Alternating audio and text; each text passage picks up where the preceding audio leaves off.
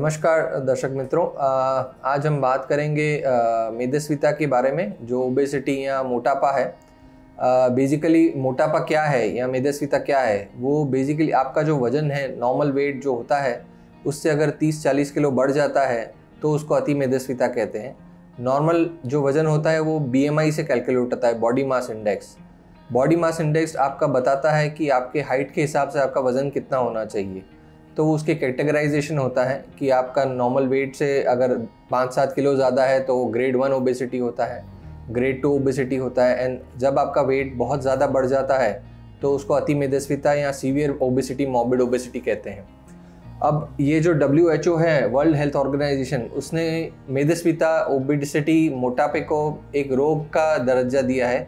Basically क्यों? क्योंकि आप देखेंगे, अगर आप मेदस्वी हैं मोटापा है तो वो दूसरे डिज़ीज़ दूसरे जो रोग हैं उसको इनवाइट करता है। बेसिकली उसकी वजह से हमें बॉडी में शरीर में ऊपर से नीचे शरीर में हेड टू टो सारे प्रॉब्लम्स होते हैं। मेन डायबिटीज़ डेवलप होता है हाइपरटेंशन ब्लड प्रेशर होता है हार्ट पे असर आता है। कईयों को आ, सांस लेने में दिक्कत होती है। हमारे कई पेशेंट हैं जो आ, मोटापे की वजह से लेट नहीं पाते उनको बैठे बैठे सोना पड़ता है। कई बार मशीन लगानी पड़ती है, बायपैप सी पैप की मशीन लगाकर उनको ब्रीदिंग करना पड़ता है।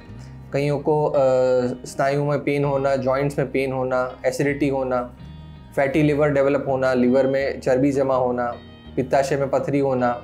इवन लेडीज़ में कहीं देखा गया है कि उनको कई प्रकार के कैंसर भी डेवलप हो सकते हैं मेदस्विता के लिए वजह से।